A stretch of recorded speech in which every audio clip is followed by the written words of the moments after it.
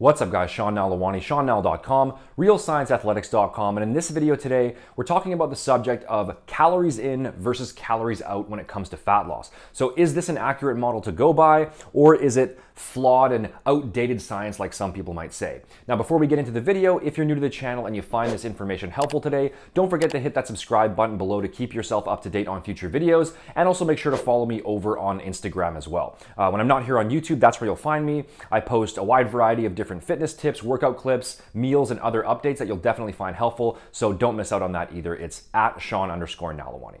So this is a pretty common back and forth debate that you'll see in YouTube comments and all over social media where someone will say that in order to lose fat, you need to create a calorie deficit by consuming fewer calories than you burn. And then someone else will argue back that no, Calories don't matter because not all calories are the same, and depending on the quality of the calories you consume, your body will process them differently. So, Let's just clarify something here right off the bat as far as the terminology goes. And that's that calories are constant units of energy. So just like a kilometer measures distance or pounds measure weight, calories measure energy. And so the reality is that a calorie is a calorie no matter what food it's contained in.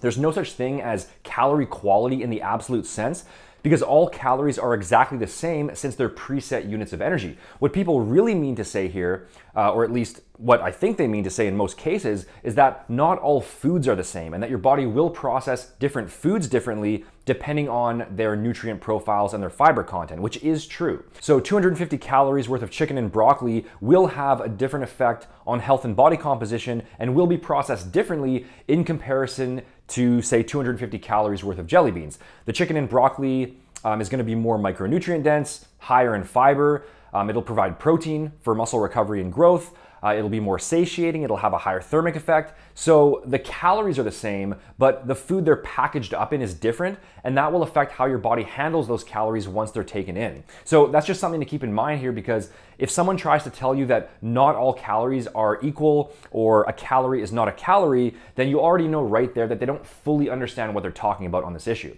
And then the second big error people make is that because certain foods are processed differently within the body and can have differing effects on body composition and overall health, they'll then make this massive leap into saying that calories don't matter and that calories in versus calories out is somehow irrelevant.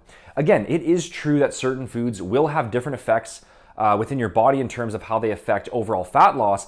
But the way that food quality impacts this is still primarily a result of how it influences net energy balance. So it's still impacting the total calories your body is absorbing versus the total calories that it's expending.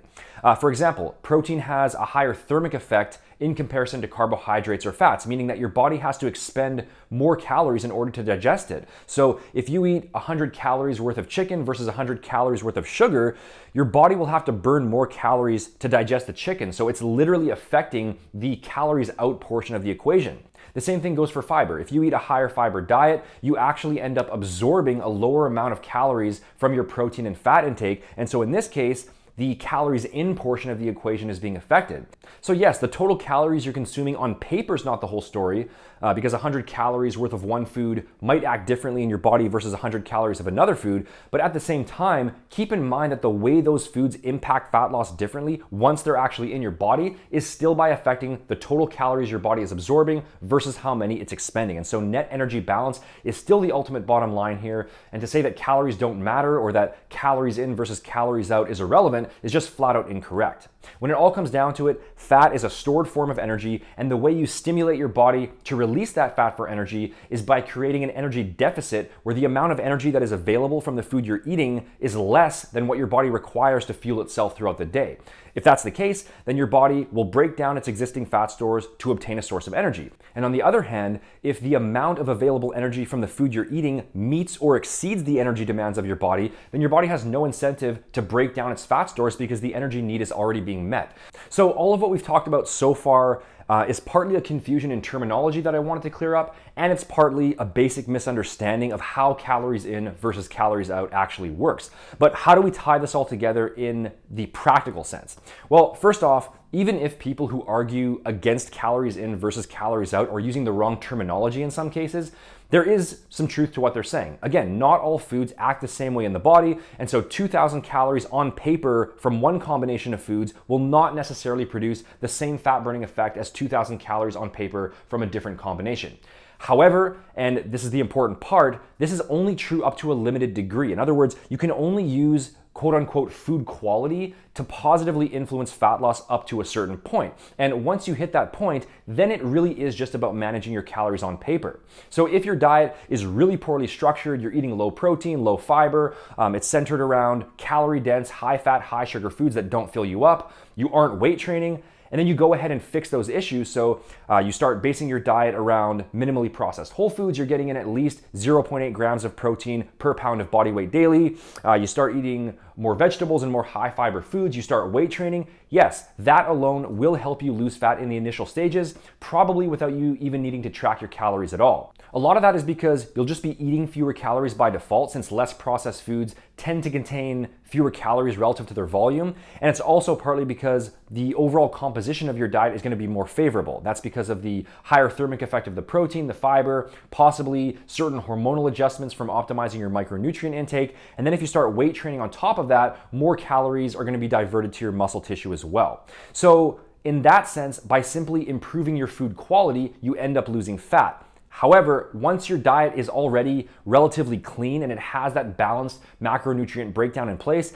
there's really not much else you can do in terms of manipulating food quality to continue losing more fat. The improvement in food quality will help you out at the start, but when your fat loss eventually stalls, at that point, it really is just about managing your calorie intake versus your calorie expenditure on paper. I mean, if it's all about eating clean and your fat loss plateaus, what do you do then? You know, you can only keep eating cleaner for so long before it isn't practical or before it isn't even possible anymore. So improving on your food choices is ultimately a game of diminishing returns until it eventually has no return at all. Now, this doesn't necessarily mean you have to track every single calorie you eat 24 hours a day, seven days a week, though I do think most people should be tracking to some degree, at least in the beginning stages. But the bottom line is that you do have to be in a calorie deficit to lose body fat. You do have to burn more calories than you consume overall. And for most people, a good sweet spot to aim for is gonna be about 300 to 500 calories below maintenance per day. So to sum up everything we've covered, both your calorie intake on paper and the quality of the foods you eat matter for fat loss um, and certainly matter for overall health, for gym performance, uh, muscle growth, etc. And you should focus on both. It's not one or the other. However, when it comes to the goal of losing body fat, it really ultimately does come down to creating a calorie deficit within your body. That calorie deficit can be partly influenced by your food choices and your macronutrient breakdown, but this is only true up to a limited point. And once you have a decent, nutrient rich whole food diet in place, calories in versus calories out is still the name of the game no matter what. And that's where your focus should be if you want to maximize your results over the long term. If you found the tips here helpful and you want to learn exactly how to bring this all together in terms of an actual step by step eating plan, so the right amount of calories you need, the macronutrient breakdown, recommended food choices, and other details so that you can lose fat and gain muscle as effectively as possible, then make sure to take my physique quiz over at quiz.seannal.com because that'll get you started with not just the proper nutrition plan, but also the proper training plan for you based on your specific goals, body type, and experience level. You can click up here for that or use the link in the description box below. When it comes to proper supplementation, you can also visit realscienceathletics.com to check out my research backed, no BS formulas to help fully streamline your program and optimize optimize your overall results. The link for that is also in the description. And as always, make sure to hit that like button, leave a comment down below, and subscribe if you haven't already in order to stay in the loop on all of my latest content. Thanks for watching, guys, and I'll see you in the next video.